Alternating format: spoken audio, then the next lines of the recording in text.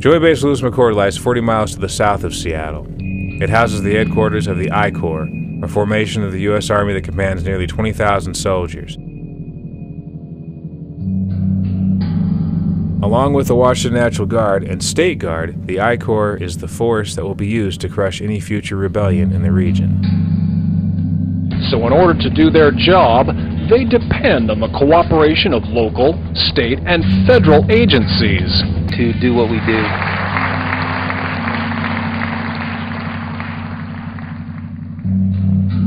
Twenty miles to the south of the base is Olympia, the capital of Washington State. From here, the laws and policies of the state government are decided. Within their Roman temple, the politicians spend all winter allocating money to the bureaucratic apparatus that maintains the functioning of the Washington economy. The State Patrol is the police force that protects state assets and maintains an armed presence on its roads. Above them in the hierarchy is the Department of Homeland Security. This department of the federal government has an office in the suburb of Tukwila and its local employees conduct numerous operations in the region.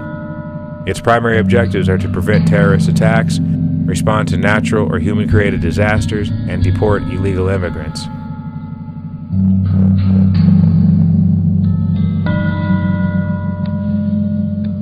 Main courthouse of the federal government is located downtown near 7th and Stewart.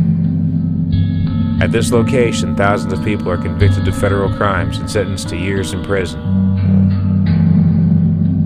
The functionaries at this courthouse care little about the humans who are ruined inside the courtrooms. The armed employees that guard the building are largely pathetic men who are paid to look threatening. Like all agents of the federal government, they are parasites and killers, tasked with policing the thoughts and actions of the U.S. population. Um, as I've said before, these are incredibly challenging times for the FBI nerve centers like this one help you share intelligence, answer questions, and give support instantly.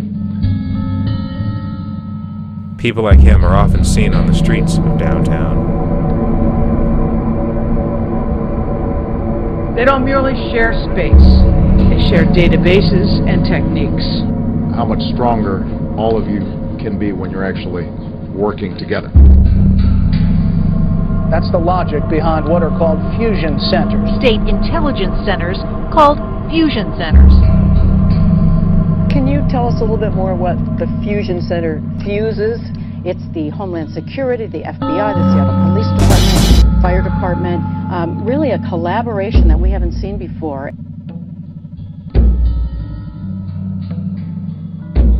There are federal buildings scattered throughout downtown, most of them anonymous. This is one of those invisible buildings, hidden right beside the King County Correctional Facility. This jail has a monthly population of around 2,000 prisoners. Large segments of the Seattle population have spent days and weeks and months in the county jail, cursed to watch the world from up high through narrow windows. They are guarded, abused, tortured, and taunted by over 300 King County corrections officers and other employees. The jail is connected to the King County administrative offices by a windowless sky bridge that hangs over Fifth Avenue. In this bizarre and sinister beehive, the vast area that makes up King County is overseen and governed by the County Council and various other departments. Nearly 2 million people live in the county, and all of them are forced to pay taxes to it. This money is then used to finance the prisons and the King County Sheriff's Department. Some of the prisoners that are brought into the jail are marched through the Sky Bridge, across the administrative offices, over 4th Avenue, and taken to the King County Courthouse. Finished in 1916, this building houses the courtrooms for the County Superior Court. Every day, the county prosecutor's office works diligently to imprison or fine as many people as possible.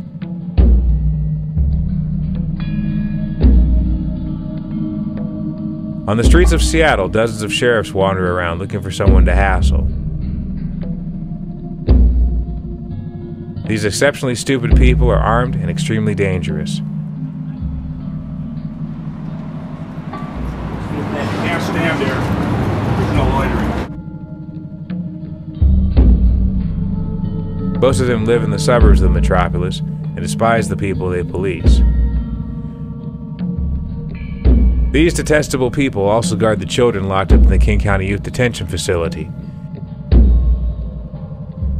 In this jail, hundreds of young people lose months and years of their childhood while locked in small cement rooms. The jail is located on 12th Avenue just south of Seattle University.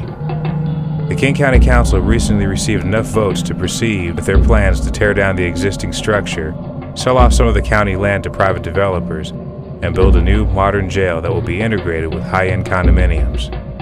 Once this project is completed, the youth locked inside will even be more invisible than they are today. There is no hope within the jail, only pain and sadness, and sometimes rebellion.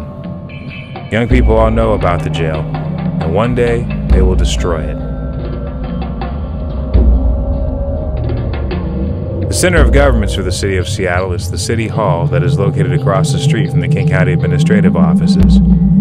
Inside the building, art reminiscent of the indigenous tribes is displayed for the public, symbolizing the desire of the government to forget the forcible relocation, the diseases, and the murders of the past. Within this transparent building, the City Council and the Mayor create laws and make business deals with investors. These people rule over Seattle, bring all their psychological problems into the seats of power, and arrogantly attempting to manage an unruly and chaotic population.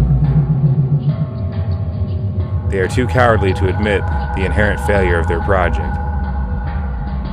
So, council members, community members, let's do that. Let's just all jump off the cliff together.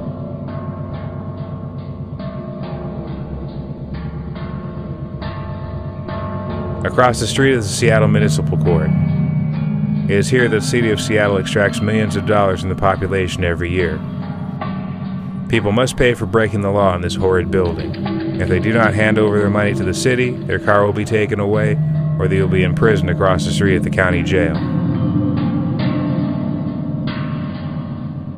Adjacent to the municipal court is the headquarters of the Seattle Police Department. From here, the department bureaucracy administers its 1,300 employees. The police officers often terrorize specific areas of Seattle. Sometimes there is a media scandal. There's really no excuse for how this came to be. You like telling those lies for uh, the police department, huh? It's very embarrassing. The SPD are the lowest level of governments, the military unit assigned to the task of keeping the population of the metropolis loyal to the government. They have divided up the city like a gang and assigned themselves different areas to police. Many of the officers use steroids or other drugs while working. Many of them are also ex soldiers who have killed civilians in other countries. In August 2010, a white police officer stepped out of his car and then proceeded to execute a member of the Nuu-chah-nulth named John T. Williams. Williams had been carving a piece of cedar when he was killed.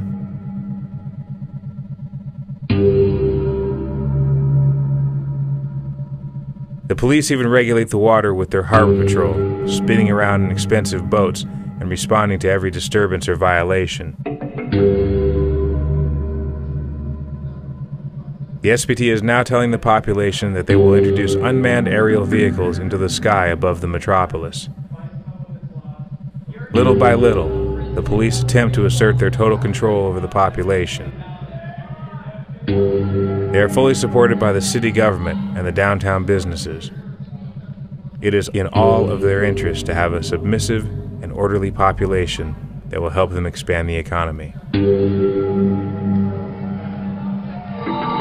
Luckily, there is always rebellion. The police panic, chaos blossoms, and this prison world promises to end.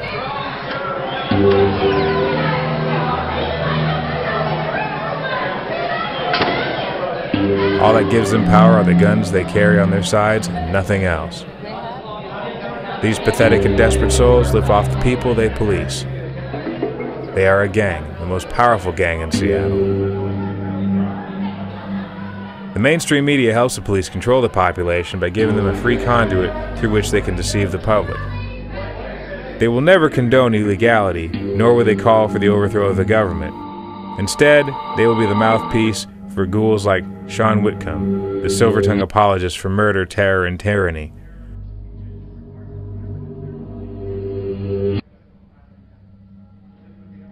Archaic as they are, the four major Seattle networks continue to dominate the minds of the public with their propaganda and lies. Ultimately, people in Metropolis are governed by themselves. The people who police the population are absurd, dangerous, and fully human. They regulate even the smallest acts of daily life and act with impunity whenever they see fit. But they are not invincible, nor are they very intelligent. They are as powerful as they are allowed to be. But it only takes the smallest of acts to begin bringing them down.